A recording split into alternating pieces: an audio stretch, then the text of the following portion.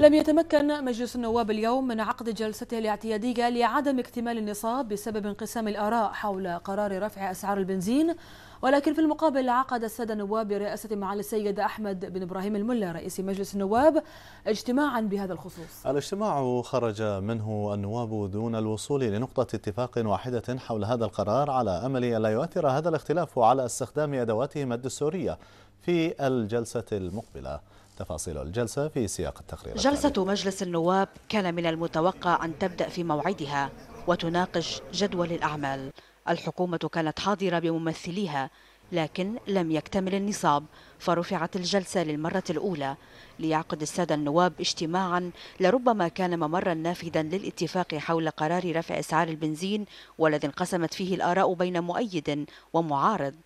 الجميع كان يترقب ماذا سيخرج به السادة النواب من خلال هذا الاجتماع.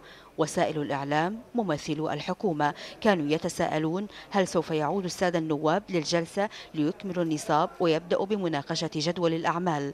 أم أن بعض النواب سيعلن الانسحاب طبعا جلسة اليوم انعقدت آه، قعدنا نتشاور أزيد من ساعة مع معالي الرئيس وكنا بنتفق أن إحنا ككتلة واحدة في المجلس ونوصل رسالة للحكومة أن القرارات اللي اتخذت يجب أن يكون بالتشاور مع السلطة التشريعية. إحنا ضد الانسحاب من جلسة مجلس النواب لأنه هو حق دستوري إن إحنا نمثل الشعب من داخل هذا المجلس، وأي اعتراض لازم أن يكون في لجنة الاستجواب الجدية وإحنا راح نحقق الاستجواب في الوزراء المعنيين.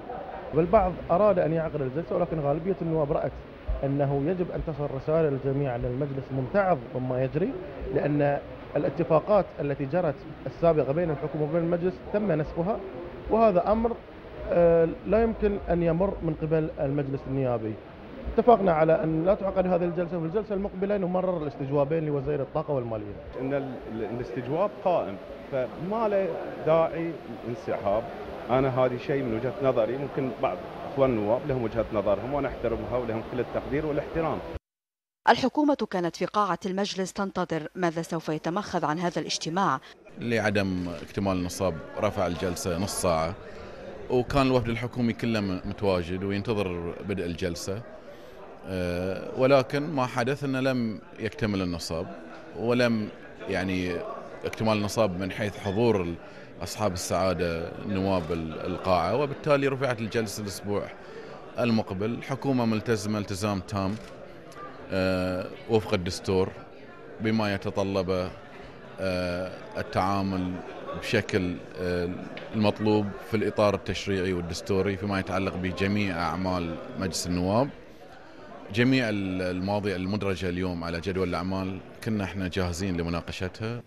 الاختلاف كان سيد الموقف والجلسة المقبلة ستكون فاصلة وستشهد استخدام السادة النواب لأدواتهم الدستورية.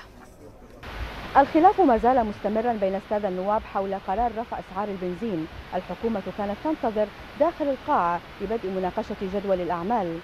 الجلسة تم رفعها لعدم اكتمال النصاب. سهر عصفور لمركز الأخبار تلفزيون البحرين.